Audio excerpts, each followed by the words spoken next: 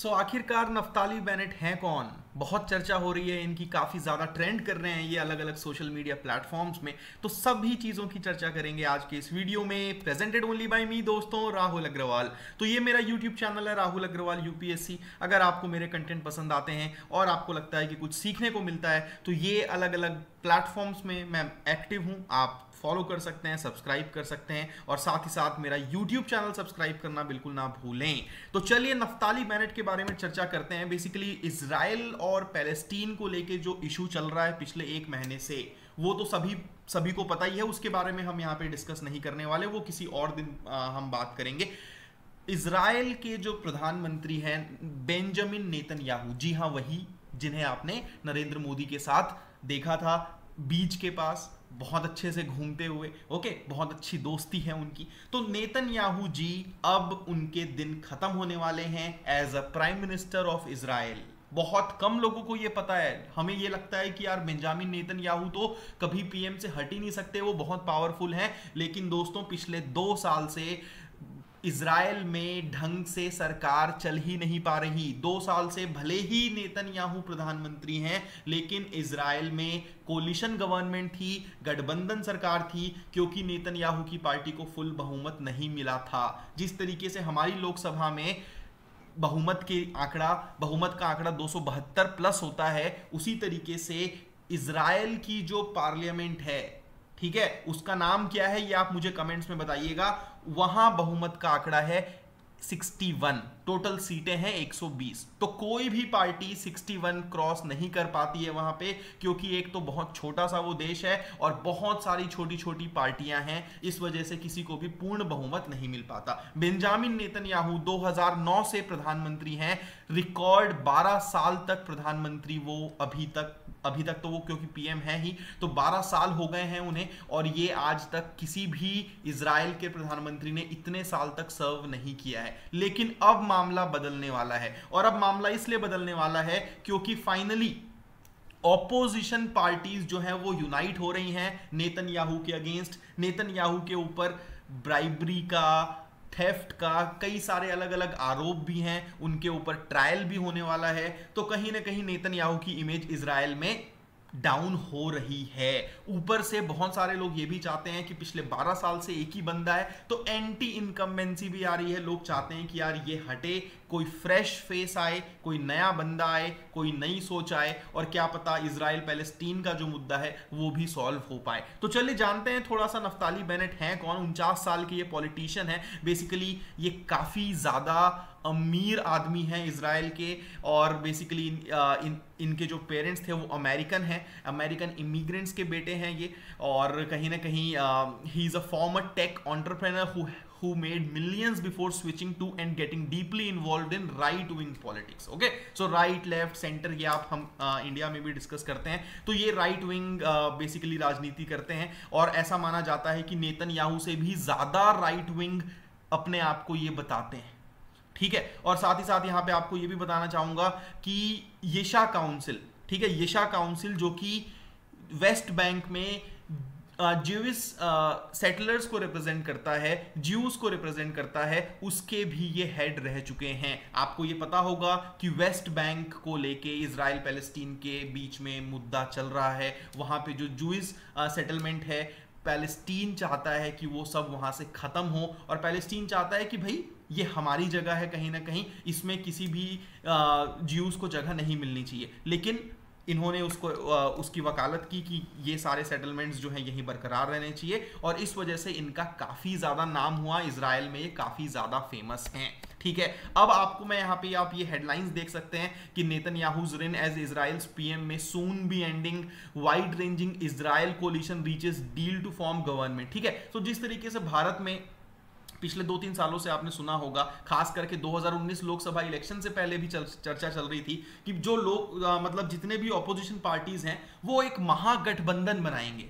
है ना? जिसमें सारे छोटे छोटे जितने भी हैं, सब एक साथ आएँगे और उनका मेन फोकस होगा नरेंद्र मोदी को हटाना। तो वही चल रहा है इसराइल में। और इस वजह से बहुत सारे लोग ये भी बोल रहे हैं कि क्या पता ऑपोजिशन सरकार ना बना पाए और नेतन याहू ही कंटिन्यू रहें, क्योंकि ऑपोजिशन एकजुट नहीं है। उनका सिर्फ़ और सिर्फ़ एक ही कॉमन मुद्दा है, वो है नेतन याहू के अगेंस्ट है। बाकी उसके अलावा उनकी सबकी अलग अलग सोच है। पैलेस्टीन इसराइल के मुद्दे को लेके भी अलग अलग सोच है, बाकी मुद्दों को लेके भी अलग अलग सोच है, लेकिन फिर भी वो एक साथ आ रहे हैं क्योंकि नेतन याहू से सब त्रस्त आ चुके हैं, त्रस्त हो चुके हैं, कहीं ना कहीं तंग हो चुके हैं और अब वो चाहते हैं कि भाई ये बंदा हटे, चाहे कोई भी पीएम बन जाए। तो ठीक है तो फिर बेसिकली इनके बीच में डिस्कशन और डील ये हुई है कि नफ्ताली बेनेट बेसिकली इसराइल में जो टर्म होता है प्राइम मिनिस्टर का, वो चार साल का होता है।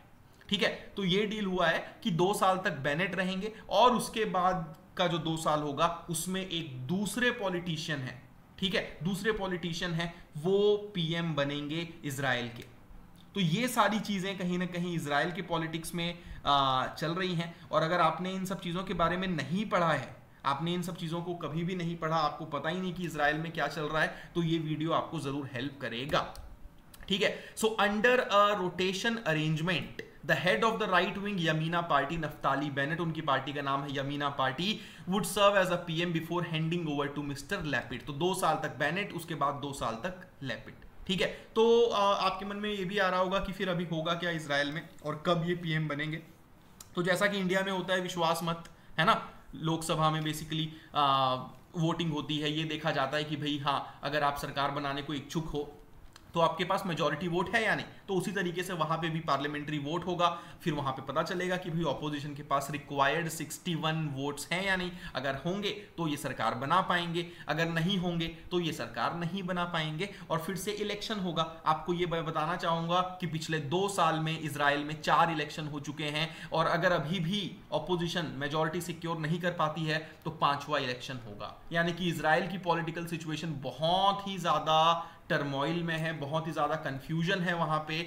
और आपको लग रहा होगा कि चार इलेक्शन क्यों हुए? चार इलेक्शन इसलिए हुए हैं क्योंकि नेतन याहू की पार्टी को फुल मेजोरिटी नहीं मिली और इस वजह से नेतन याहू अलग अलग छोटी छोटी पार्टीज़ के साथ गठबंधन बना के सरकार बनाते रहे। लेकिन कुछ कुछ महीनों में जिनके साथ उनका गठबंधन था, उनसे मतभेद हो गए किसी मैटर को लेके और वो टूटती गई सरकारें। और इस वजह से इलेक्शंस पे इलेक्शन करवाने पड़े।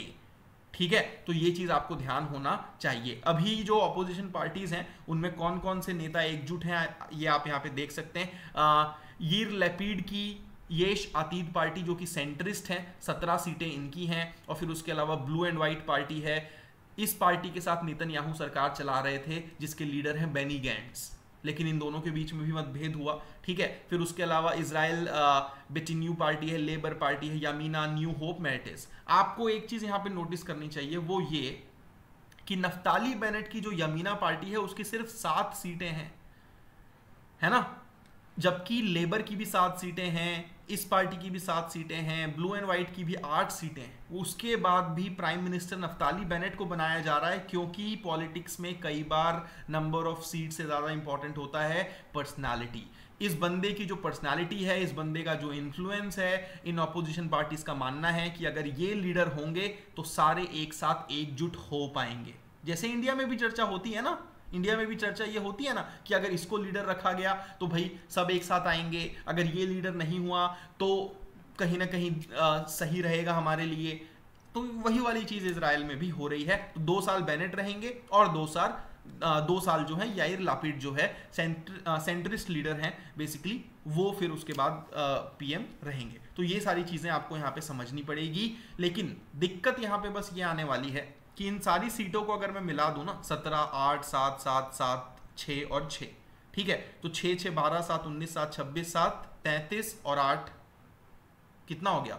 फोर्टी वन और लगभग कहीं ना कहीं आ, सारी पार्टीज़ के मिला जुला के sixty one sixty two seats हो रहे हैं। ठीक है? एक और पार्टी है जिसकी चार सीटें हैं तो उनको अगर मैं मिला दूँ टोटल बासठ सीटें हैं। तो अगर एक या दो दो बंदे भी नेतन याहू के साइड चले गए ना तो मेजोरिटी नहीं आएगी और कहीं ना कहीं फिर से इलेक्शन की नौबत आ सकती है। तो नेतन याहू पूरी कोशिश कर रहे हैं कि इनमें से कोई ना कोई बंदा जिस तरीके से इंडिया में हो रहा है, भैया, पैसे दे के विधायक खरीद लो। तो नेतन याहू भी पूरी कोशिश करेंगे इन्हें अपनी तरफ़ बहलाने, फुसलाने की, कि ये हमारे साइड आए और इनकी मेजोरिटी ना हो। नेतन याहू ने कहा है कि ये जो प्रपोज्ड गवर्नमेंट है, ये फ्रॉड है फ्रॉड ऑफ़ द सेंचुरी है, क्योंकि इनकी ना तो सोच अलग है। आप देख सकते हो, कोई सेंट्रिस्ट है, कोई सेंटर राइट से राइट विंग है, कोई सोशल डेमोक्रेटिक है, कोई लेफ़्ट विंग है। सो सबकी अलग अलग आइडियोलॉजीज हैं, लेकिन उसके बाद भी ये सब एक साथ आ रहे हैं तो नेतन्याहू ने कहा है कि ये ज़्यादा दिन तक नहीं टिक पाएगी और ये इसराइल की जनता के साथ धोखा होगा। इससे ज़्यादा डिटेल में डीप में इसराइल की पॉलिटिक्स को जानने की हमें ज़रूरत नहीं है दोस्तों। सो पढ़ते रहिए कीप लर्निंग सब्सक्राइब ज़रूर करिएगा इस YouTube channel Rahul Agarwal UPSC को। धन्यवाद, मिलता हूँ आप सभी से। कैसा लगा आज का वीडियो ज़रूर बताइए।